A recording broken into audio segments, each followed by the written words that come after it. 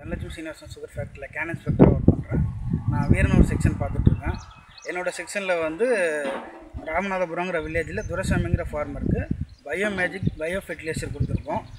அவங்க இது அப்ளை பண்ணதுக்கப்புறமேலுக்கு இதில் வந்து டில்லரிங் கவுண்ட் எடுத்து பார்த்தோம். இந்த ஃபெர்டிலைசர் அப்ளை பண்ண ஃபீல்டில் வந்து டென் மீட்டர் ரேடியஸில் வந்து நூற்றி தொண்ணூறு டில்லரிங் வந்திருக்கு. அப்ளை பண்ணாத ஃபீல்ட்லேயும் செக் பண்ணி பார்த்தோம். அதில் நூற்றி நாற்பது டில்லரிங் வந்திருக்கு.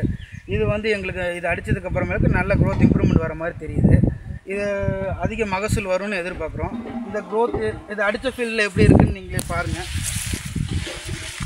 இதோட க்ரோத் எப்படி இருக்குது அப்ளை பண்ணாத ஃபீல்டில் எப்படி இருக்குது இது வந்து அப்ளை பண்ண ஃப்ளாட் இது வந்து அப்ளை பண்ணாத ஃப்ளாட் இதில் வந்து இன்னும் டெல்லரிங் கூட சரியாக வரல. சரியாக க்ரோத்தும் அது அந்த எதிர்பார்த்த அளவுக்கு இதில் இல்லை. அப்ளை பண்ணதால் அதுக்கும் இதுக்கும் வித்தியாசம் தெரியுது எங்களுக்கு. அதனால் இதை விட அப்ளை பண்ண ஃப்ளாட்டில் மகசூல் அதிகமாக கிடைக்கும் நாங்கள்